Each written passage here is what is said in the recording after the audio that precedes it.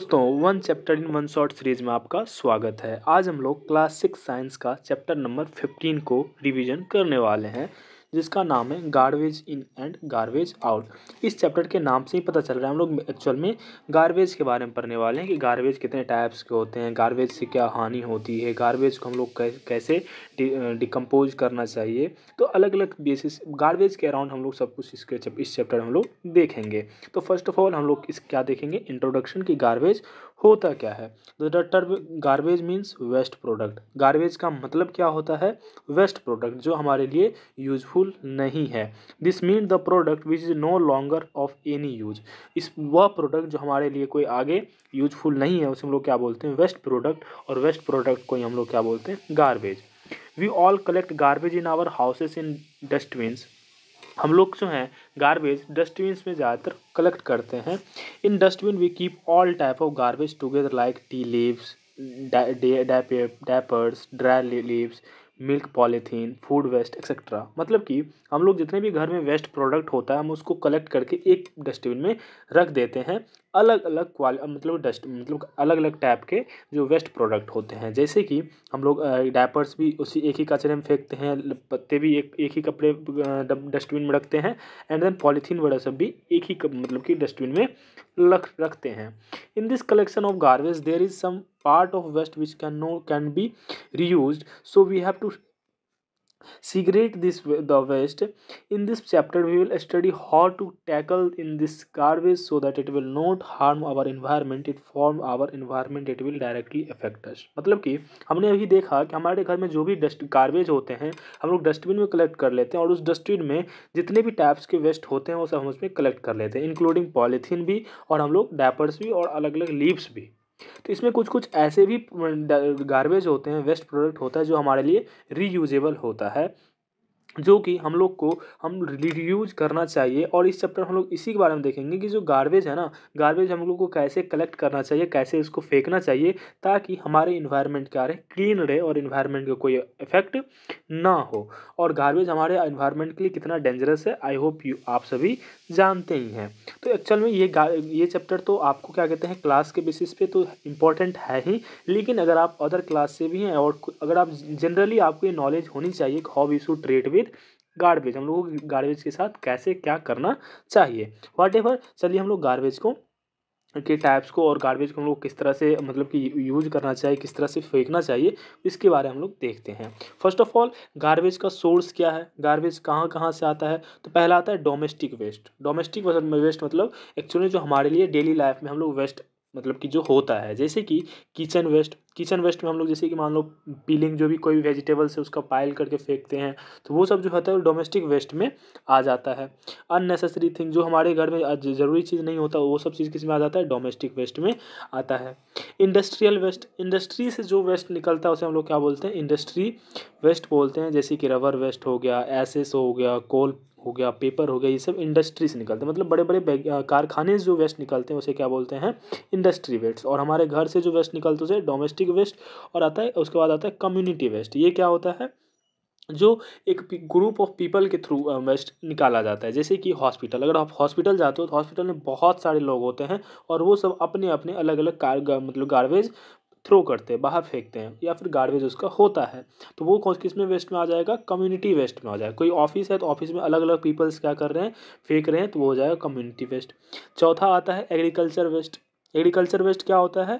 जो खेती करने में जो वेस्ट प्रोडक्ट हो, अननेसेसरी चीज़ हो, उसे हम लोग बोलते हैं एग्रीकल्चर वेस्ट। जैसे कि हस्क हो गया, स्ट्रॉ हो गया, फाइबर्स हो गया, ये क्या हो गया? एग्रीकल्चरल वेस्ट होता है। जैसे कि मान लो कोई गेहूँ की खेती, अभी तो गेहूँ हो रही है तो गेहूँ की खेती होगी तो फिर उसका जो भूसा होता है, वो एक प्रकार का वेस्ट ही होता है। वैसे यूज़ कर लेते हैं लोग, लेकिन जैसे धान अभी कटा है तो धान कटेगा उसका जो पुआल होता है, ज़्यादातर मतलब कि जो मवेशी होती है, वो भी नहीं खाती है तो वो लोग वो लोग क्या करते हैं, जला देते हैं। तो उसको किस तरह से हमको ट्रीट करना चाहिए और वो जो पुआल है, वो किसमें आ जाएगा? एग्रीकल्चर वेस्ट में आ जाएगा। खेती के दौरान जो हमारे मतलब कि जो भी वेस्ट प्रोडक्ट होता है मतलब उसे एग्रीकल्चरल वेस्ट कह सकते हैं।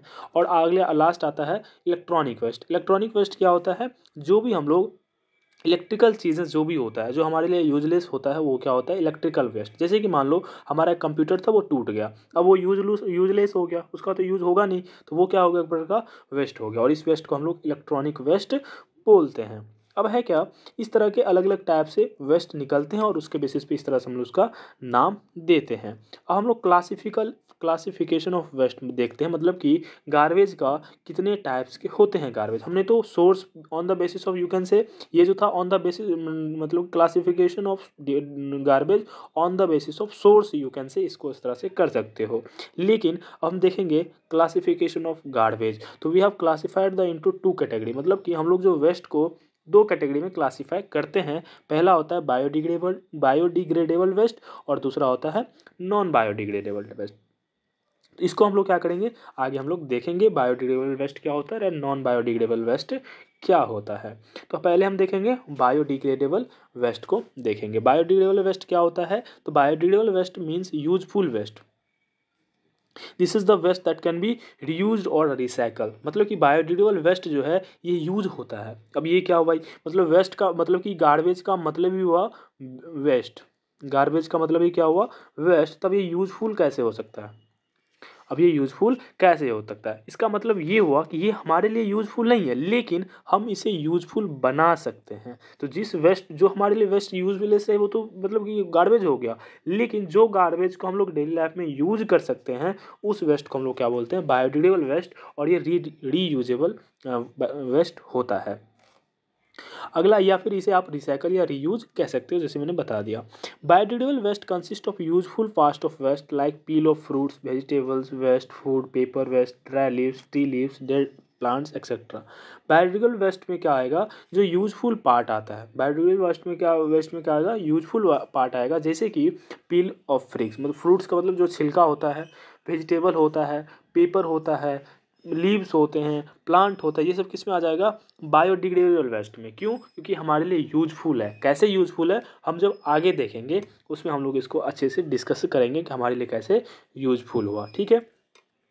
Biodegradable waste can be use in several ways मतलब कि बायोडिग्रेडेबल वेस्ट को हम कैसे यूज़ कर सकते हैं? तो अलग अलग तरीके से यूज़ कर सकते हैं। Like when tea leaves waste directly add into the plant it acts as a nutrient for plant मतलब कि हम लोग कुछ बायोडिग्रेडेबल वेस्ट को डायरेक्टली यूज़ कर सकते हैं और कुछ इनडायरेक्टली यूज़ या फिर उसको यूज़ करने के लिए मतलब उसको फॉर्म चेंज करना होता है। तो डायरेक्टली कैसे यूज़ कर सकते हैं? तो जैसे भी एग्जांपल लिए हैं, अगर कोई मान लो कि टी लीव है मतलब कि चाय पत्ती है, अगर ये मान लो हम लोग को चाय बन गया, अब ये लीव टी लीव क्या हो गया? चाय बनाने के बाद वो वेस्ट हो जाता है। उस वेस्ट को अगर हम प्लांट में दे देते हैं तो वो क्या हो जाता है? उस प्लांट के लिए यूजफुल होता है। प्लांट प्लांट के लिए हेल्दी होता है। मतलब प्लांट को अच्छा न्यूट्रिएंट्स वो प्रोवाइड करता है। तो हम लोग क्या करेंगे, जो चाय बनाते हैं, उस चाय को हम लोग प्लांट के रूट में या फिर प्लांट के आसपास छिड़क देंगे तो उससे क्या होगा, प्लांट अच्छे से न्यूट्रिएंट मिलेगा और प्लांट भी ग्रो हो जाएगा और ये वेस्ट भी हम लोग का यूज़ हो गया। तो ये मतलब ये तो वेस्ट था, चाय बन गया, ये वेस्ट हो गया। लेकिन अगर हम इसको प्लांट के रूप, रूट में देते थे हमारे लिए क्या हो जाएगा, यूजेबल हो गया। तो मतलब हम लोग बायोडिग्रेडेबल वेस्ट को डायरेक्टली इस तरह से यूज़ कर सकते हैं। Paper waste can be use in art और क्राफ्ट। मतलब कि जो पेपर वेस्ट होते हैं, जो कूट होते हैं, जो पेपर होते हैं, उसको आप आर्ट या क्राफ्ट में आप यूज़ कर सकते हो। Fruits and vegetable waste can be use as manure to plants. मतलब कि ये जो हम लोग क्या कहते हैं पीलिंग ऑफ़ फ्रूट्स देखे थे या फिर वेजिटेबल्स देखे थे, इसका हम मेन्योर बना सकते हैं। मेन्योर कैसे बनाएँगे? तो वर्मी कंपोस्ट देखेंगे। तो सब चीज़ आगे देखेंगे, वर्मी कंपोस्ट। उसमें क्या करेंगे हम लोग? इस सब चीज़ों का यूज़ करके हम लोग उस कंपोस्ट बना लेंगे और खेत के लिए हमारे हेल्पफुल होगा। तो बायोडिग्रेडेबल वेस्ट को हम लोग इस तरह से यूज़ कर सकते हैं। Let's have look some example of biodegradable waste कुछ एग्जांपल हम लोग देखते हैं बायोडिग्रेडेबल वेस्ट का। जैसे कि हम लोग पेंसिल छीलते हैं इस तरह से तो ये भी क्या होगा? बायोडिग्रेडेबल पेपर हम लोग यूजलेस होता है मतलब पेपर जो खराब राइटिंग की वजह से हम लोग फेंक देते हैं तो वो क्या हो जाएगा? बायोडिग्रेडेबल वेस्ट होगा। किचन वेस्ट जो भी हम लोग पीलिंग वगैरह सब करते हो किसमें आ जाएगा? बायोडिग्रेडेबल वेस्ट में आ जाएगा। ड्राई लीव्स जो मतलब कि लीव्स जो है प्लांट से नीचे गिर जाता है, वो सब किसमें आ जाएगा? ड्राई लीव्स में आ जाएगा। और हमने बायोडिग्रेडेबल वेस्ट का यूजेज भी देख लिए। अब आता है non bio in bio non biodegradable waste या फिर इसको हम लोग non usable non useful waste भी कह सकते हैं। ये क्या होता है? तो non biodegradable waste non biodegradable waste means not useful मतलब कि जो हमारे लिए वेस्ट यूजेज यूजफुल ना हो। तो हम लोग पीछे देख रहे थे कि ये सब जो वेस्ट था, इन सब चीज़ों को हम लोग, इस वेस्ट को हम लोग यूज़ कर सकते थे। लेकिन हम लोग नॉन बायोडिग्रेबल वेस्ट को यूज़ नहीं कर सकते। कैसे नहीं कर सकते हैं? उसको हम लोग देखेंगे। Non biodegradable waste consist of non useful part waste like polythene bag broken toys broken glass aluminium foil paper piece of cloth etcetera मतलब कि अगर हम पॉलीथीन से सामान ला लिए, बाज़ार से कोई सामान ला लिए पॉलीथीन बैग में, और वो सामान हम लोग निकाल लिए, और पॉलीथीन बैग जो है हमारा, वो यूजलेस हो गया। अब पॉलीथीन बैग को हम लोग कहाँ यूज़ करेंगे? क्योंकि हम पॉलीथीन बैग तो दुकान भी लेके नहीं जाते हैं। क्यों? क्योंकि दुकानदार अपने ही दे देते हैं, फ्री में दे देते हैं। हम इसका यूज़ नहीं करते और ये हमको फेंक देते हैं और ये हमारे लिए कहीं यूज़ नहीं होता है। कोई खिलौना टूट गया, तब उस खिलौना को हम क्या करेंगे? हम लोग क्या करते हैं, जस्ट ऐसे ही थ्रो कर देते हैं और हमारे लिए वो कहीं पे यूज़ नहीं होता है। कोई ग्लास टूट गया तो वो क्या हो जाता है? यूज़लेस हो जाता है। कहीं पे हम उसका यूज़ कर सकते हैं क्या? नहीं कर सकते हैं। हम मान लो बाहर से खाना लाते हैं तो जनरली वो एल्यूमिनियम फॉयल में बाँध करके देता है। क्या वो यूज़ कर सकते हैं हम उसको? नहीं कर सकते हैं। तो इस टाइप का जो वेस्ट है ना, इसे हम क्या बोलते हैं? नॉन बायोडिग्रेडेबल वेस्ट क्योंकि इन सब वेस्ट का हम कहीं भी यूज़ नहीं कर सकते हैं। Plastic is the biggest example of non useful waste इसमें क्या है? प्लास्टिक मतलब ब्रोकन टॉय हो गया पॉलीथीन बैग हो गया, ये प्लास्टिक के कैटेगरी में आ जाती है। तो ये जो है ये क्या है? बेस्ट एग्ज़ाम्पल या फिर बिगेस्ट एग्ज़ाम्पल है किसका नॉन यूजफुल वेस्ट का। मतलब कि इसका प्लास्टिक जो भी वेस्ट हो गया ना, उसका आप यूज़ नहीं कर सकते हो। We can use the plastic bottle several times but not every time all the plastic waste can't be reuse मतलब कि हम लोग जो प्लास्टिक वेस्ट होता है, ये हमेशा रीयूज नहीं की जा सकती और बहुत सारे यूज़ होते हैं, लेकिन जनरली ये क्या कहते हैं यूजलेस हो जाता है। हम लोग इसका रीयूज नहीं कर पाते हैं। और प्लास्टिक बोतल जो है, हम लोग जो पानी पीते हैं, बहुत मतलब कि एक बोतल में कितना दिन पानी पीते हैं? पाँच दिन, दस दिन, फिर उसके बाद उसको फेंक देते हैं, फिर नया बोतल ला लेते हैं। तो वो जो फेंक दिए बोतल वो क्या हो जाता है? वेस्ट बन जाता है। कोई कभी कभी वो कलेक्ट करके फिर उसको सोल्ड करके उसका यूज़ कर लिया जाता है, लेकिन मोस्ट ऑफ़ द टाइम वो रीयूजेबल नहीं होता है। है ना? तो अगला है लेट्स लुक एट अब अब हम क्या करेंगे? अलग अलग टाइप्स को हम क्या करेंगे? यहाँ पे नॉन बायोडिग्रेडेबल वेस्ट को देखेंगे। अब देखो, यहाँ पे एल्यूमिनियम फॉयल एल्यूमिनियम फॉयल हम क्या करते हैं? फ़ूड लाते हैं, तभी हमारे लिए क्या होता है? यूजलेस हो जाता है। अगर हम दुकान से सामान लाते हैं, इसमें जो पॉलीथीन मिलता है, ये क्या होता है हमारे लिए? यूजलेस हो जाता है और ये रीयूजेबल नहीं होता है। अगर कोई टॉय खरीदे और ये टॉय हमारे लिए क्या है? टूट गया तो फिर हमारे लिए क्या होता है? यूजलेस हो जाता है। ग्लास अगर मान लो हम मतलब पानी पानी वाला गिलास अगर ये टूट गया तो फिर ये क्या हो जाता है? यूजलेस हो जाता है हमारे लिए और हम इसे यूज़ नहीं करते हैं। It is advisable to collect the biodegradable and non biodegradable waste separately मतलब कि इसीलिए हम लोग को जो ये मतलब कि मतलब सजेशन दी जाती है, फिर सिखाया जाता है कि हम लोग को जो biodegradable and non biodegradable waste है, इसको अलग अलग हमको फेंकने चाहिए। एक साथ मिला दोगे, फिर पता ही नहीं चलेगा कौन बायोडिग्रेडेबल मतलब कि ये दोनों मिक्सअप हो जाएगा। अगर हम इसको यूज़ भी कर, तब हमारा बायोडिग्रेडेबल वेस्ट ना ही यूज़ हो पाएगा और फिर बायोडिग्रेडेबल वेस्ट भी क्या हो जाएगा, फेंका चला जाएगा। तो इसीलिए हम लोग को कैसा होना चाहिए बायोडिग्रेडेबल वेस्ट को सेपरेटली हमको कलेक्ट करना चाहिए। अब आ जाता है कंपोस्टिंग कंपोस्टिंग क्या होता है? हमने बताया था पीछे कि जो क्या कहते हैं बायोडिडल वेस्ट होता है, उसको मैन्योर के लिए यूज़ कर लिया जाता है। अब ये कंपोस्ट क्या होता है तो इसको हम लोग देखते हैं। Composting is a process to use the बायोडिडल waste by converting into manure मतलब कि कंपोस्ट प्रेस कंपोस्ट जो है, वो क्या है? प्रोसेस है। कंपोस्ट क्या है ये? प्रोसेस है। प्रोसेस से, ये कंपोस्ट एक प्रोसेस है। प्रोसेस के बाद जो कोई रिज़ल्ट आएगा, वो रिज़ल्ट को हम लोग क्या बोलते हैं? मेन्योर बोलते हैं। क्या बोलते हैं? मेन्योर जनरली कन्फ्यूज़न ये होता है कि सर कंपोस्ट क्या होता है मेन्योर क्या होता है? देखो कंपोस्ट प्रोसेस है और इस प्रोसेस का कुछ कुछ रिज़ल्ट होगा। प्रोसेस मान लो एक प्रकार का काम है। काम के बाद जो रिज़ल्ट आएगा ना उसे हम लोग मेन्योर बोलते हैं। ठीक है? और कंपोस्ट किसका प्रोसेस है? तो बायोडिग्रेडेबल वेस्ट का प्रोसेस होता है। This waste contain some nutrients for plants which return मतलब कि इस प्रकार का जो मतलब कि वेस्ट होता है बायोडिगल वेस्ट ये कुछ प्लांट के लिए क्या होता है, बहुत ही यूजफुल होता है, ये प्लांट को न्यूट्रिएंट्स भी प्रोवाइड करता है। Manure help the plant to grow by increasing soil fertility manure कैसे प्लांट को हेल्प करता है हेल्प करता है? तो ये सॉइल के फर्टिलिटी को बढ़ा देता है। प्लांट का सॉइल का फर्टिलिटी बढ़ेगा तो प्लांट भी क्या होता है, अच्छे लेवल में ग्रो होता है। Let's discuss the process process of composting step by step मतलब कि हम लोग अब कंपोस्टिंग करें कैसे? इसका कुछ स्टेप दिया गया है, उसको हम लोग देखते हैं कि कैसे हो मतलब कि हम लोग को कंपोस्ट में से मैन्योर बना सकते हैं। पहला दिया है टेक अ बिग कंटेनर हमको बड़ा सा कंटेनर यहाँ पे आपको दिखाया, दिख रहा होगा। मैं थोड़ा सा छोटा कर देता हूँ, अब दिख रहा होगा। यहाँ पे मैंने एक बड़ा सा क्या कर ली फिगर में दिख रहा होगा, यहाँ से हम बड़ा सा कंटेनर ले लेंगे। उसके बाद put all the animal waste food waste dried food wood chip dry leaves etcetera in the container मतलब कि हमको इस कंटेनर में जितने भी एनिमल वेस्ट होते हैं मतलब गोबर वगैरह सब हो गया, या फिर फ़ूड वेस्ट जैसे कि मान लो पीलिंग फ्रूट का जो छिलका होता है, वो सब चीज़ें इसमें हम दे सकते हैं, या फिर जो सूखा पत्ता होता है, वो सब इसमें दे सकते हैं। क्या नहीं दे सकते हैं? Avoid meat fish dry products as they attract animal and work of micro एडगम in interrupted मतलब कि हमको उस मतलब कि ये जो, क्या कहते हैं आपको हमने इसमें कंटेनर लिया था, इस कंटेनर को मीट फ़िश वगैरह सब नहीं देना है, क्योंकि इससे माइक्रो ऑर्गेनिज्म क्या आता है, वो अट्रैक्ट होता है और माइक्रो ऑर्गेनिज्म इसमें अगर आ गया तो फिर ये हमारा कंपोस्ट को क्या कर देता है, बर्बाद कर देता है। तो हमको ध्यान ये रखना है कि माइक्रो ऑर्गेनिज्म इसमें ना आए और माइक्रो ऑर्गेनिज्म को मतलब कि अट्रैक्ट कौन करता है मीट वगैरह सब अट्रैक्ट करते हैं दैट इज़ हमको इसमें नहीं मतलब कि मतलब इसको इसमें मिक्सअप करना है। Now mix the ingredients ingredients properly मतलब कि हम लोग जो इसमें मतलब कि दिया था, उसको हमको प्रॉपरली क्या करना है मिक्स करना है, मिला देना है, ठीक है? Add some water to the waste in order to create some moisture मतलब कि इसमें हमको क्या करना है, थोड़ा सा वाटर ऐड करना है, ताकि क्या हो जाए मॉइस्चर आपको इसे मिल जाए, ठीक है? After that now cover it with soil मतलब कि हमको क्या करना है, इससे फिर सॉइल से कवर कर देना, ऊपर से ढक देना है then take care of this compost pile मतलब कि हमको अच्छे से इसका मतलब इस कंपोस्ट का क्या करना है, ध्यान रखना है।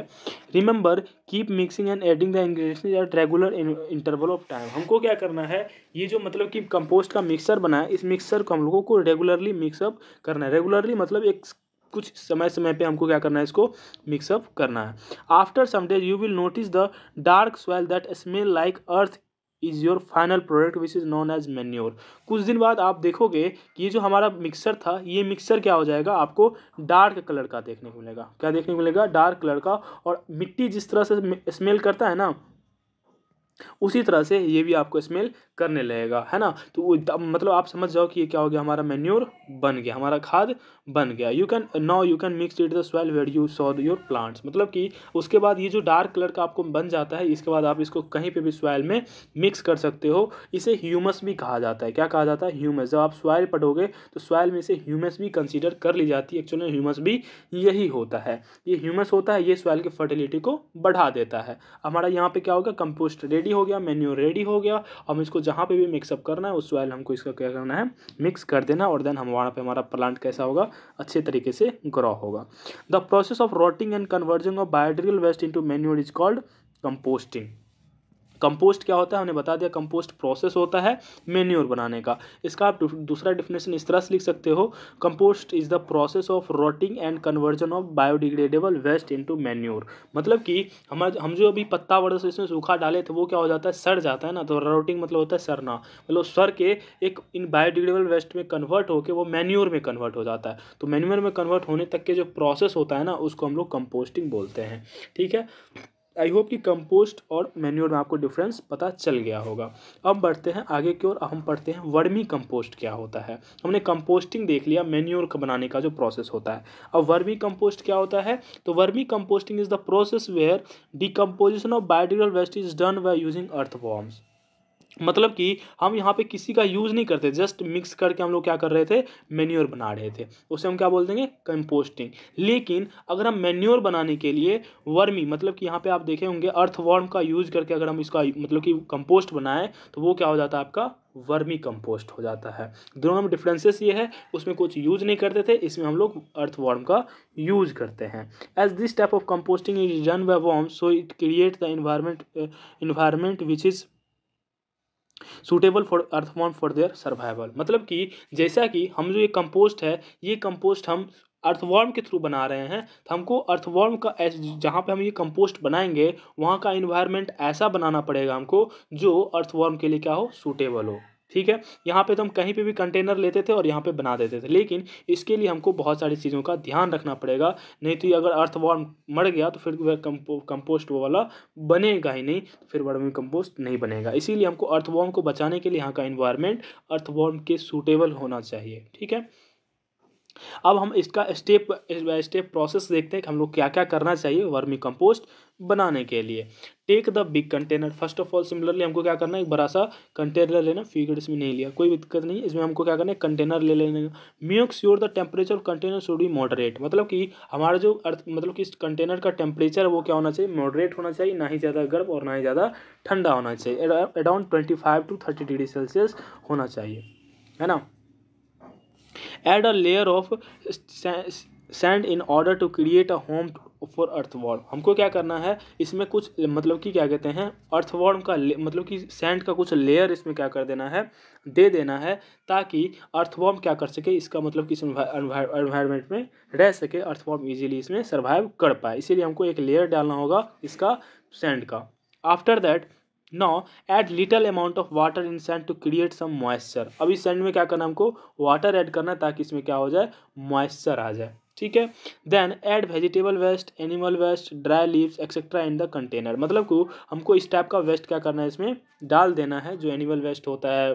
किचन वेस्ट होता है, जो मतलब कि बायोडिग्रेडेबल वेस्ट होता है उसको हमको क्या करना है, ऐड कर देना है। इसमें क्या क्या अवॉइडिंग करना है तो हमको इसमें देखना होगा कि साल्ट ऐड नहीं करना है, क्योंकि साल्ट से क्या होता है, अर्थवॉर्म मर जाता है। ऑयल नहीं इसमें ऐड करना है। पीकल मतलब अचार टाइप से, खट्टा टाइप से इसमें नहीं देना है। मिल्क प्रोडक्ट इसमें क्या करना है, ऐड नहीं करना है। ये सब चीज़ हमको ऐड नहीं करना अगर आप ये इस चीज़ को ऐड कर दोगे ना तो अर्थवॉर्म क्या हो जाएगा, मर जाएगा, फिर आपका वर्मी कंपोस्ट नहीं बनेगा। तो ध्यान रखना ये सब चीज़ मतलब कि क्या हो, आपको इसमें मिक्सअप ना हो। In in as they can harm earthworm मतलब कि ये सब क्या करता है अर्थवॉर्म को हार्म करता है हम लोग इसको ऐड ऐड नहीं करना चाहिए। आफ्टर दैट जब ये मिक्सर बन जाएगा हमारा तो उसमें हम क्या करेंगे अर्थ मेन चीज़ अर्थवॉर्म को ऐड करेंगे। Now keep adding the mixing of ingredients at regular interval फिर हमको क्या करना है? वो जो इंटर मतलब कि इंग्रेडिएंट्स हम मिलाए हुए थे वेस्ट प्रोडक्ट उसको क्या करना है? हमको अच्छे से दिन प्रतिदिन मिलाना है। Now will notice within a month और विल बी डबल्ड मतलब कि आप कुछ दिन बाद देखोगे कि वहाँ पर इसमें जो अर्थवॉर्म है, इस कंटेनर में जो अर्थवॉर्म होगा, वो क्या हो जाए? दो दिन, दो गुना हो जाएगा। मतलब आप दस दोगे तो बीस अर्थवॉर्म वहाँ पे हो जाएगा। Then place some vegetables waste in the corner of a pit and as a result the entire earthworm will shift to the vegetable waste मतलब कि फिर जब हम इसके करेंगे तो इसके कॉर्नर पे क्या कर देंगे? हमको इस कॉर्नर में क्या करना है? थोड़ा सा वेजिटेबल वेस्ट दे देना है। क्यों? क्योंकि इधर अधर जो मतलब कि अर्थवॉर्म होगा वो कहाँ शिफ्ट हो जाए? उस फ़ूड पे शिफ्ट हो जाए।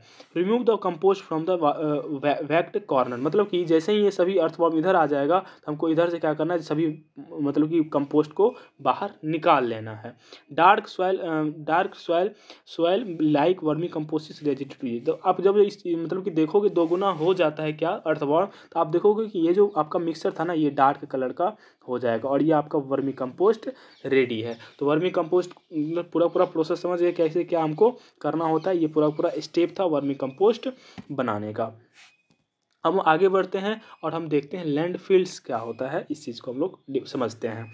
लैंड फ़ील्ड क्या होता है? तो landfills are made to handle the non biodegradable waste मतलब कि लैंड फ़ील्ड एक मतलब कि वे है। क्या है? वे है। जैसे कि हमने देखा कि जो बायोडिग्रे बायोडिग्रेबल था, वो क्या होता था? हम लोग कंपोस्ट में यूज़ कर रहे थे। लेकिन नॉन बायोडिग्रेबल का क्या होगा? ये तो और भी ज़्यादा हार्मफुल होता है हमारे इन्वायरमेंट के लिए। तो इसको हम कैसे ख़त्म करेंगे? तो इसको लैंड फ़ील्ड के थ्रू क्या किया जाता है? ख़त्म किया जाता है। जैसे कि हम लोग क्या करते हैं? गाँव देहात में थोड़ा सा गड्ढा ढूंढ, खोद लेते हैं और उसमें वो चीज़ डाल देते हैं। सिमिलरली यहाँ पे भी वही हो रही है और वही चीज़ें होती है। समझो पहले। Land he made to handle the non biodegradable waste ये नॉन बायोटिकल वेस्ट को मतलब कि हैंडल करने के लिए लैंडफिल की यूज़ की जाती है। Sweepers collect the garbage from our house मतलब कि जो स्वीपर होता है, जो मतलब देखते हैं कचरा वाला लेने आता है, गाड़ी वाला है, घर से कचरा निकाल, ये क्या करता है? हमारे घर से जितने भी कचरा होता है वो ले लेता है। Non biodegradable waste is separated from this garbage मतलब जो नॉन बायोटिकल होता है उसको क्या करता है? वो लोग अलग कर लेता है and thrown in the low lying open area called land और वो जो मतलब कि नॉन बायोटिकल होता है किसी जाके जो गड्ढा होता है तो किसी ने मतलब कि ये शहर है, शहर के नीचे मान लो इस तरह गड्ढा तो यहाँ पे जाकर वो क्या कर देगा, गिरा देगा उस नॉन बायोडिग्रेडेबल मटेरियल को, और जो कि हम लोग क्या करते हैं लैंडफिल्स बोलते हैं। Landfill is the open area built on the top of the ground to dispose the garbage मतलब कि ये क्या होता है? टॉप लैंड ऑफ़ एरिया से इसको इसमें भर भर दिया जाता है ताकि हमारा गार्बेज क्या हो जाए डिस्पोज हो जाए। It is build in such a way that it should not affect our surrounding और इसको इस तरह से बनाया जाता है कि हमारी सराउंडिंग को ये अफेक्ट नहीं करेगा, हमारे इन्वायरमेंट को कोई दिक्कत नहीं पहुँचाएगा। Once the land land full fill is full then cover it with a layer of soil for the next twenty thirty years no building is constructed on it मतलब कि एक बार मतलब कि क्या होता है जिस तरह से ये मतलब कि हमारा लैंड होता है गड्ढा टाइप से इसमें क्या होता है नॉन बायोडिगल मटेरियल धीरे धीरे बढ़ा जाता है। इसको इस तरह से बनाया जाता है कि हमारे एरिया पे कोई मतलब कि इन्वायरमेंट को इफ़ेक्ट ना करे। ये जो है ना आउटसाइड ऑफ़ विलेज क्या कर, मतलब टाउनशिप इसको बनाया जाता है। फिर उसके ऊपर क्या करते हैं जब ये लैंड फिल पूरा इतना तक भर गया तो इसके ऊपर एक लैंड सॉइल का क्या कहा जाता है इसके ऊपर एक लेयर दे दिया जाता है। जब सॉयल का लेयर दे दिया तो फिर इसको बीस से पच्चीस साल के लिए इसको क्या कर देते हैं छोड़ देते हैं और फिर यहाँ पे कोई घर बनाने को क्या करता है? नहीं अलाउ किया जाता है। बीस तीस साल यहाँ पे आप कोई घर नहीं बना सकते हो। फिर बीस तीस साल बाद इसको हम लोग यूज़ करते हैं अलग अलग वे के लिए। तो ये ये होता है लैंडफिल जिस तरह से हम लोग कंपोस्ट क्या कर रहे थे? बायोडिग्रेडेबल के लिए यूज़ कर रहे थे। उसलिए लैंडफिल किसके लिए यूज़ किया जाता है? नॉन बायोडिग्रेडेबल के लिए यूज़ किया जाता है। अब आगे पढ़ेंगे रिड्यूसिंग गार्बेज मतलब कि हम लोग गार्बेज को कैसे रिड्यूस कर सकते हैं? क्या क्या मेथड्स हैं हम लोग को गार्बेज रिड्यूस करने का? रिड्यूस गार्बेज को ही मतलब कि क्या करते हैं आप? रिसाइकल कह सकते हो। मतलब कि हम लोग एक मतलब कि इम्पोर्टेंट वे जो है गार्बेज को रिड्यूस करने का वो है रिसाइकल क्योंकि हम लोग डेली यूज़ जैसे कि मान लो, हमारा जो मतलब हम लोग डेली सामान, सब्ज़ी वगैरह सब मार्केट से लाएँगे ही लाएँगे। ये क्या है? मैंडेटरी है। और वो लाएँगे तो पॉलीथीन में ही लाएँगे। किसमें लाएँगे? पॉलीथीन में। तो अब देखो, ये तो वेस्ट होगा ही होगा। लेकिन अगर हम यही पॉलीथीन को बार बार मार्केट ले जाएँ और बार बार मार्केट से सामान लेकर आएँ तो पॉलीथीन तो एक ही वेस्ट हुआ ना। नहीं तो हम डेली डेली अलग अलग पॉलिथीन लाएँगे तो वेस्ट क्या होता है? ज़्यादा बनता है। दैट इज़ वाई मेन जो मतलब कि गार्बेज को रिड्यूस करने का मेथड है, वो है रीयूजेबल या फिर रिसाइकल तो चलिए हम लोग आगे बढ़ते हैं। It is our prime duty to make our country garbage free ये हमारा क्या प्राइम ड्यूटी है फंडामेंटल यू कैन से कि वर्क है, इसे आप कह सकते हो, जो कि हमारे देश को क्या बनाना है गार्बेज फ्री बनाना है, कचरा बड़े से भी ज़्यादा इधर उधर नहीं फेंकना है। Here are are certain step that everyone can take in order to make clean city clean मतलब कि यहाँ पर हमने कुछ स्टेप दिया है आपको, इस स्टेप के थ्रू आप क्या कर सकते हो, अपने आसपास के गाँव, शहर मोहल्ले को क्या कर सकते हो क्लीन कर सकते हो, और ये चीज़ें आपको समझ में समझना चाहिए, है ना? जिससे क्या होगा, हमारा क्लीन रहेगा और क्लीन इन्वायरमेंट में हेल्दी रहेंगे हम लोग। और हेल्दी मतलब हेल्दी ब्रेन और हेल्दी ब्रेन रहेगा तो हम लोग कुछ भी अचीव कर लेंगे। तो मेन मतलब कि मुद्दा ये है कि हमारा इन्वायरमेंट क्लीन होना चाहिए, इसके लिए हमको क्या क्या करना चाहिए तो यहाँ पे कुछ स्टेप्स दिए हैं, उसको आपको फॉलो करना चाहिए। First of all stop throwing unnecessary thing मतलब कि हम लोग क्या करते हैं, जो हमारे लिए यूजलेस होता है, वो हम इधर उधर जत्र तत्र क्या कर देते हैं, फेंक देते हैं। लेकिन ऐसा हमको नहीं करना चाहिए। दूसरा reuse the old paper in fun activities हमको क्या करना चाहिए, जो ओल्ड चीज़ें हैं, पेपर हो, पॉलीथीन हो, जो भी प्लास्टिक हो, उसको हम लोग रीयूज करने की कोशिश करना चाहिए। जितना रीयूज कर सकें, उतना हमको क्या करना चाहिए? करना चाहिए। Change the refill of pen instead of throwing pen हम लोग क्या करते हैं, पाँच रुपये का एक पेन खरीदते हैं, उसमें रिफिल ख़त्म, दूसरा पेन खरीद लेते हैं। अब वो जो पेन का बाहर वाला प्लास्टिक था, वो हम फेंक देते हैं। जो हमारे लिए क्या है अनहेल्दी है, वो गलत है। हमको क्या करना चाहिए? दूसरा रिफ़िल खरीद के उसमें फिलअप करना चाहिए और उसको यूज़ करना चाहिए। तो ये भी एक मतलब कि मतलब कि छोटे छोटे कदम से ही कोई बड़ी चीज़ें हासिल की जा सकती है। आपको लग रहा है ये मतलब कि ये कौन सी बड़ी बात है? आप ये सब करके क्लीन कर सकते हो। छोटे छोटे चीज़ों से ही बूंद बूंद ही घरा पड़ता है ना? तो आप ये छोटी छोटी चीज़ को केयर करने लगोगे तो बड़े बड़े चीज़ अपने आप हो जाएगी। रिसाइकलिंग ऑफ़ पेपर हमको रिसाइकिल पेपर सबका पेपर क्लॉथ पॉलीथीन ये सब का क्या करना चाहिए? रिसाइकल करना चाहिए। जितना मतलब मतलब कि यूज़ हो सके, है ना? हम लोग जो है कॉपी के लिए रफ कॉपी भी क्या करते हैं? नया नया कॉपी क्लासमेट वगैरह सब का यूज़ करते नहीं, हम लोग को दस रुपये वाला एक रिसाइकल कॉपी आती है, उसका यूज़ करना चाहिए। क्लासमेट वगैरह सब क्या होता है? न्यू मतलब कि पेपर होती है मतलब कि नया नया बना पेज होता है। उस पेज को जब हम लिख लेते हैं तो कॉपी फेंक देते हैं और फिर लिखा हुआ कॉपी से फिर से वो पेज बनाई जाती है, जिसे रिसाइकल पेपर बोलते हैं। वो दस रुपये में मिल जाते हैं आपको। तो हम लोग को रफ के लिए जनरली वो सब चीज़ें यूज़ करना चाहिए, ताकि क्या हो सके इन्वायरमेंट हमारा सही रह सके। क्योंकि कापी बरस में क्या होता है कि पेड़ पौधे काट के ही पे, पे कापी बनाए जाते हैं। जो भी बाँस वगैरह सब काटे जाते हैं उससे हमारा कापी बनाई जाती है। तो अगर हम कापी का भी मतलब किस तरह से यूज़ करें तो हमारा पेड़ पौधे भी बचेंगे उससे इन्वायरमेंट क्या होगा? सही होगा। तो मतलब इनडायरेक्टली हम लोग क्या करेंगे? कुछ बेटर ही करेंगे अगर इस तरह का स्टेप हम लोग उठाते हैं तो।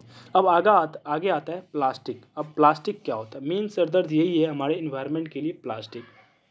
क्योंकि हम लोग पेपर सब तो रीयूज हो सकता है रिसाइकल होगा या फिर डिकम्पोज हो जाएगा, लेकिन प्लास्टिक नहीं होता है। इसके लिए क्या क्या चीज़ें हैं, उसको हम लोग देखते हैं। Plastic waste comes under the category of non biodegradable waste. Plastic किसके अंदर आता है? नॉन बायोडिग्रेडेबल वेस्ट के अंडर में आता है मतलब कि इसे आप यूज़ नहीं कर सकते हो। It is very harmful to the environment मतलब कि हमारे इन्वायरमेंट के लिए, हमारे सराउंडिंग के लिए ये सबसे ज़्यादा खतरनाक है। It connect can not be recycle इसको हम रिसाइकल नहीं कर सकते हैं। That is why it is very important to minimize the useful हम लोग पेपर सबका रिसाइकल कर लेते हैं, लेकिन प्लास्टिक का कतई रिसाइकल नहीं कर सकते हैं। इसीलिए हम लोग को प्लास्टिक यूज़ करने से अवॉइड करना चाहिए। मतलब प्लास्टिक बहुत कम यूज़ करना चाहिए। It is impossible to be ban the use of plastic but we can minimize its use आपके दिमाग में ये आ रहेगा कि जब प्लास्टिक हमारे लिए इतना खतरनाक है तो हम इसको बैन क्यों नहीं कर देते हैं? देखो भाई, प्लास्टिक अगर बैन हो जाएगी तो फिर बहुत सारी चीज़ें हैं जो हम नहीं कर पाएँगे। प्लास्टिक के बिना, प्लास्टिक हमारी लाइफ के लिए मैंडेटरी भी है तो हम ज़्यादा क्या होता है, नहीं यूज़ करना चाहिए। दैट इज़ बैन नहीं कर सकते क्योंकि प्लास्टिक के बिना हम लाइफ ज़िंदा नहीं रह पाएँगे, ऐसे समझ जाओ। तो दैट इज़ वह प्लास्टिक मैंडेटरी है। हम लोग इसको बैन नहीं कर सकते, लेकिन यूजेस को मिनिमाइज कर सकते हैं, कम यूज़ करेंगे तो ये बेटर होगा जैसे कि हमारा इलेक्ट्रिसिटी है इलेक्ट्रिसिटी का जो वाइड होता है, उसके ऊपर जो कवर होता है, वो कवर क्या होता है? प्लास्टिक का बना होता है। हम लोग कलम प्लास्टिक के कलम से यूज़ करते हैं। खाना बनाते हैं तो खाना पकड़ने वाला जो होता है प्लास्टिक होता है। नहीं होगा तो फिर वो खाना बनेगा नहीं। तो जनरली हम लोग डेली लाइफ में जो ये सब चीज़ें यूजेज हैं, ये सब बिना मतलब कि ये सब में प्लास्टिक नहीं रहेगा तो फिर बड़ी दिक्कतें हो जाएगी, है ना? तो यहाँ पे प्लास्टिक मैंडेटरी है। तो हम लोग को क्या करना चाहिए? प्लास्टिक का यूजेज कम करना चाहिए हमको बैन इसे नहीं कर सकते हैं। अगला स्टेप है don't step using plastic bag instead use paper bag हम लोग को अब इलेक्ट्रिसिटी में तो वायर में प्लास्टिक रहेगा ही रहेगा। तो हम लोग जो कुछ अदर वर्क से जैसे प्लास्टिक यूज़ करते हैं, वो यूज़ नहीं करना चाहिए। जैसे कि हम लोग प्लास्टिक बैग यूज़ करते हैं। प्लास्टिक बैग की जगह हम लोग को पेपर बैग यूज़ करना चाहिए। एक समय आया था कि इंडिया में बैन हुई थी प्लास्टिक पॉलीथीन वाला सब नहीं चल रहा था। तो उस टाइम में पेपर का बैग बहुत फ़ेमस हुआ। उससे क्या हुआ कि पेपर भी रिसाइकल हो गया। जो मतलब कि छोटे मोटे मतलब कि विलेज में मतलब कि पुअर पीपल्स थे, उसको एक नया जॉब मिल गई। ये बेटर था, लेकिन फिर भी पता नहीं क्यों या फिर कैसे, फिर से वो मतलब कि फिर से मार्केट में आगे और यूज़ होने लग गया। तो हम लोग को क्या करना है? प्लास्टिक बैग यूज़ ही नहीं करना है, हम लोग को पेपर बैग यूज़ करना है। दूसरा डोंट थ्रो अननेसेसरी प्लास्टिक जो हमारी प्लास्टिक हमारे लिए अननेसेसरी है, उसको इधर उधर नहीं फेंकना चाहिए। Throw only if it is needed मतलब कि जो हमारे लिए प्लास्टिक यूजफुल भी है, कभी कभी हम लोग इधर उधर फेंक देते हैं या फिर आसपास में इधर उधर फेंक देते हैं। लेकिन हम लोग को प्लास्टिक को क्या करना चाहिए? तभी फेंकना चाहिए जब हमारे लिए ज़रूरी हो। मतलब कि प्लास्टिक को फेंकना मैंडेटरी हो। अगर मतलब प्लास्टिक को रख सकते हो तो रखना है, नहीं अगर फेंकना है तो हमको एक डस्टबिन में एक प्रॉपर वे में फेंकना चाहिए। जैसे कि मतलब कि हमको इस तरह से इधर उधर नहीं फेंकना चाहिए। जैसे कि फॉर एग्जांपल आप ले सकते हो don't change pen frequently rather change the refill मतलब कि हम लोग पैन यूज़ करके फेंक देते हैं। हम लोग को पैन नहीं चेंज करना चाहिए रिफिल चेंज करना चाहिए, ताकि क्या हो जाए, वो पैन का जो प्लास्टिक है हम लोग क्या करेंगे यूज़ कर सकते हैं। तो ये होता है मतलब कि जिस तरह से अभी वहाँ पे पेन फेंकना जो था ज़रूरी नहीं था, लेकिन हम लोग फेंक दिया था। हम लोग को वो करना है जो ज़रूरी होता है। तो पेन को फेंकना नहीं चाहिए था, वो ज़रूरी नहीं है फेंकना। हमको रिफिल फेंकना चाहिए। तो इसीलिए हमको वही चीज़ फेंकना चाहिए जो हमारे लिए ज़रूरी है। मतलब फेंकना ज़रूरी है। फेंकना, जो हमारे लिए फेंकना ज़रूरी है, वो उसे हम फेंकना नहीं चाहिए। है ना? अगला मतलब कि मतलब हम मतलब पॉइंट ये है कि plastic bag in garbage even by animals birds can kill them मतलब कि प्लास्टिक बैग का जो गार्बेज होता है ना, वो एनिमल सब अगर खा लेता है तो वो उसको क्या कर देता है? मार देता है, क्योंकि प्लास्टिक को पचाने की किसी में क्षमता नहीं होती है है ना? सब सूत्रमुर्ग नहीं है जो मतलब कि क्या कहते हैं पत्थर ही पचा लेगा। तो सभी एनिमल्स क्या करते हैं इसको डाइजेस्ट नहीं कर पाते। अगर वो खा लिए तो फिर उसकी क्या हो जाती है? डेथ हो जाती है। तो हम लोग को क्या करना चाहिए? प्लास्टिक बैग मतलब कि जो प्लास्टिक पॉलीथीन या फिर कचरा वगैरह सब है हम लोग को इधर उधर नहीं फेंकना चाहिए। एक प्रॉपर वे में फेंकना चाहिए। दूसरा है don't store cook food in plastic containers as hot food when container uh, contaminate plastic release harmful gas this is this is the main cause of cancer हम लोग को क्या करना चाहिए? कोई भी फ़ूड जो है, वो फ़ूड हम जब कुक कर लेते हैं तो गर्म होता है और उस गर्म फ़ूड को हम लोग क्या कर लेते हैं? पॉलीथीन में पैक कर लेते हैं। क्या कर लेते हैं? पॉलीथीन में पैक कर, जैसे हम लोग खाना मंगाते ही हैं तो पॉलीथीन में पैक करके आता है, जो कि हमारे लिए क्या हुआ है? वो बहुत ही डेंजरस है। क्यों डेंजरस है? क्योंकि पॉलीथीन में जब गर्म फ़ूड होते हैं तो वो पॉलीथीन से क्या करते हैं? गैस रिलीज़ कराता है और वो गैस एक कैंसर का मेन रीज़न है। तो मतलब कि प्लास्टिक इस तरह से भी हमारे लिए ख़तरनाक होती है। तो हम लोग इस तरह से प्लास्टिक का मतलब कि जितना कम हो सके उतना यूज़ करनी चाहिए। हम आगे बढ़ते हैं और देखते हैं रिसाइकल रीयूज़ और reduce R R R triple R यहाँ पे आर आर आर यूज़ नहीं किया है ट्रिपल आर यूज़ किया है। तो हम लोग को क्या करना चाहिए? किसी भी गार्बेज को मतलब कि मिनिमाइज करने के लिए और कम यूज़ करने के लिए हमको ट्रिपल आर रूल फॉलो करना चाहिए। ट्रिपल आर रूल क्या होता है? रिड्यूस रिसाइकल रीयूज मतलब कि हम लोग को क्या करना चाहिए? किसी भी मतलब यूजेज को रिड्यूस करना चाहिए, या फिर उसे रिसाइकल करना चाहिए, या फिर उसे फिर से यूज़ करना चाहिए। जैसे कि हम आगे एग्जांपल देखेंगे, लेकिन पहले इसका कुछ पॉइंट्स है देखते हैं। In order to solve the save the environment three R are extremely useful मतलब कि हम अगर इन्वायरमेंट को अच्छा बनाना चाहें, अगर आप इको फ्रेंडली हो और आप इन्वायरमेंट को बचाना चाहते हो तो आपको थ्री आर रूल भी क्या करना चाहिए? फॉलो करना चाहिए। ये हमारे इन्वायरमेंट के लिए बहुत ही इफ़ेक्टिव तरीका है। कोई भी आ, मतलब कि गार्बेज हो इसके लिए क्या होता है? इफ़ेक्टिव तरीका है। थ्री आर में पहला आता है रिड्यूस रिड्यूस क्या होता है? बैटर में reduce we mean one should reduce the unnecessary uses of natural resources. For example unnecessary sharpening of pencil by kids just for fun. जैसे कि हम लोग को क्या करना चाहिए? जो भी चीज़ हमारे लिए यूज़फुल नहीं है नेसेसरी नहीं है वो भी काम करते हैं और उससे क्या होता है? हम अपना कचरा फैलाते हैं। जैसे कि एग्ज़ाम्पल दिया है हम लोग पेंसिल को क्या करते हैं? बस छीलते रहते हैं, छीलते रहते हैं। क्यों? क्योंकि हमको मज़ा आता है छीलने में। अब बताओ, वो जो छिलका है, वो क्या है एक प्रकार का? वेस्ट है। और ये वेस्ट हमारे लिए क्या था? अननेसेसरी था। इसका ज़रूरी था? नहीं था। लेकिन हम अपने फ़ैन के लिए क्या करते हैं? इसको यूज़ करते हैं। तो हम लोग को जो ज़रूरी चीज़ नहीं होता है, उसको क्या करना चाहिए? कम करना चाहिए। रिड्यूस करना चाहिए। Instead of using fresh paper to play kids can use old news paper और old paper to make the plants planes मतलब कि जब भी हम खेलते हैं स्कूल बड़ा समय तो हम देखते हैं कि पेज का नया पेपर क्या करते हैं, फाड़ते हैं और प्लेन बना के उड़ाते हैं। वो एक प्रकार क्या हो जाता है, कुछ देर उड़ाने के बाद ऐसे ही छोड़ देते हैं, वो हमारे लिए वेस्ट बन जाता है। इसके लिए हमको क्या करना चाहिए, नया पेज नहीं यूज़ करना चाहिए। खेलना ज़रूरी है, खेलना मैंडेटरी है तो इसके लिए हमको नया पेज नहीं यूज़ करना चाहिए। जो ओल्ड न्यूज़पेपर है ओल्ड पेज है, वो सब चीज़ हमको यूज़ करना चाहिए और उसके बाद क्या करना चाहिए, उससे खेलना चाहिए, ताकि हम ये जो मतलब कि नेसेसरी ये मतलब कि जो नया पेज आप यूज़ कर लियो प्लेन बना के, वो तो वेस्ट बन गया। और ये वेस्ट मतलब ये तो नेसेसरी वर्ड्स नहीं था क्योंकि आप उस पेज का लिखने पे यूज़ कर सकते थे। लेकिन एक वेस्ट न्यूज़पेपर ओल्ड न्यूज़पेपर है तो एक्चुअली में वेस्ट ही है, उसको आप खेल भी सक सकते हो। इसको आप क्यों नहीं, इससे क्यों नहीं खेल सकते हैं? बात बात तो बराबर है नया से खेलो, पुराना से खेलो तो हमको इस चीज़ों से खेलना चाहिए और फिर ये प्रकार का वेस्ट मतलब कि हम लोग इसको रिड्यूस कर सकते हैं। मतलब कि इनडायरेक्ट मतलब कि शॉर्ट वे में हम ये कहना चाहें कि रिड्यूस मतलब होता है कि हमको कम यूज़ करना चाहिए। कोई भी जो प्रोडक्ट है, उसको हमको क्या करना चाहिए? कम यूज़ करना चाहिए। दूसरा क्या आता है? रिसाइकल ये क्या होता है? By the term recycle we mean the recycle and use the natural process in different form for example minimise the use of polythene bag and rather than using a fresh polythene every time we can use the one polythene bag at number of times मतलब कि recycle मतलब होता है कि हम किसी भी चीज़ को फिर से यूज़ करना। जैसे कि हम लोग जो हैं जैसे कि पॉलीथीन बैग है। इसमें एग्जांपल दिया है पॉलीथीन बैग का। पॉलीथीन बैग अगर आप देखोगे तो हमको क्या करना चाहिए? जो जो चीज़ हम रिसाइकल नहीं कर सकते हैं, जो चीज़ हमको चीज़ मतलब कि, जो चीज़ें हम हमारे पास है, हमको ट्राई करना चाहिए उसे फिर से रिसाइकल करने की। हमको फिर से उसे, फिर से नया बनाने की, उसी चीज़ से। उससे क्या होगा? हमारा बैटर मतलब कि एक नया चीज़ तो नया मतलब कि मान लो कि एक पॉलीथीन बैग है। क्या है? पॉलीथीन बैग है। हम लोग क्या करेंगे? पॉलीथीन बैग से हमारा पॉलीथीन वेस्ट हो गया। तो हम उसी पॉलीथीन बैग से एक और ऐसा बैग बना लेंगे, जो कि हमारे लिए क्या हो? यूजफुल हो। तो एक एक्स्ट्रा जो पॉलीथीन बैग हम क्या करेंगे? लेंगे, उससे वो तो ये जो एक्स्ट्रा पॉलीथीन बैग था हमारे लिए क्या होगा?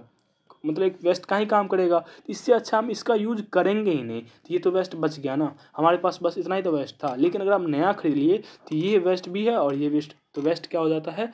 बढ़ जाता है। इसके लिए हमको क्या करना चाहिए? रिसाइकल का यूज़ करना चाहिए। अगर कोई चीज़ फिर से यूज़ हो रही है तो उसे हमको रिसाइकल करके यूज़ करना चाहिए। थर्ड में आता है रीयूज। रीयूज क्या होता है? इसको देखते हैं। Reuse by terms. Reuse means use the same sources again and again मतलब कि यूज़ मतलब क्या होता है? कोई भी रिसोर्सेस है, हमको अगेन एंड अगेन बार बार उसी को यूज़ करना चाहिए। जैसे कि हम मार्केट जाते हैं पॉलीथीन लेके। क्या जाते हैं? मार्केट जाते हैं पॉलीथीन ले पॉली मार्केट जाते हैं कोई सामान खरीदने के लिए। वो दुकानदार क्या करता है? हमको पॉलीथीन बैग में भर के देता है। ये यहाँ पे हम क्या करते हैं? सामान निकाल लेते हैं पॉलीथीन को फेंक देते हैं। फिर दूसरे दिन मार्केट जाते हैं, फिर से नया पॉलीथीन देता है। अब देखो, ये जो नया पॉलीथीन था, ये फिर से वेस्ट बन गया ना। अगर हम पहले दिन जो हमको पॉलीथीन बैग दिया था, उसका सामान निकाल के उस पॉलीथीन बैग को रखना चाहिए और दूसरे दिन जो मार्केट जाएँगे, इस पॉलीथीन बैग को क्या करना चाहिए, हमको फिर से लेके जाना चाहिए, फिर इसी पॉलीथीन बैग में सामान लेना चाहिए। तो दूसरे दिन जो हमको पॉलीथीन बैग दिया, क्या वो यूजफुल रहा? नहीं रहा और वो हमारे लिए वेस्ट भी नहीं बना। एक ही पॉलीथीन हम बार बार यूज़ कर रहे हैं ना तो एक ही चीज़ अगर आप बार बार यूज़ करो तो इसे हम बोलते हैं रीयूज़ और हमको कचरा निकाल मतलब कि गार्बेज को कम करने के लिए रीयूज़ हमको हमेशा करना चाहिए, एक बेटर मैनर्स होती है बेटर चीज़ है जिससे कि हम क्या कर सकते हैं, अपने इन्वायरमेंट को क्लीन कर सकते हैं। इसी के साथ क्या होता है आपका चैप्टर क्या हो जाता है ख़त्म हो जाता है और आई होप कि आपको समझ में आई होगी और आप आई अब अगर कोई स्लाइड नहीं बचा है मीन्स आपका चैप्टर क्या हो गया ख़त्म हो गया। आई थिंक आपको समझ में आ गई फिर मिलेंगे नेक्स्ट वीडियो में। Thank you so much for watching this video और आई होप कि आपको पूरा पूरा चैप्टर क्लियर क्लियर हो गई होगी। अगर कोई प्रॉब्लम होगा तो कमेंट में आप ज़रूर कर, कमेंट करके पूछ सकते हो। मुझे नहीं लग रहा आप कोई पॉइंट में बचा होगा। फिर मिलेंगे नेक्स्ट वीडियो में। Thank you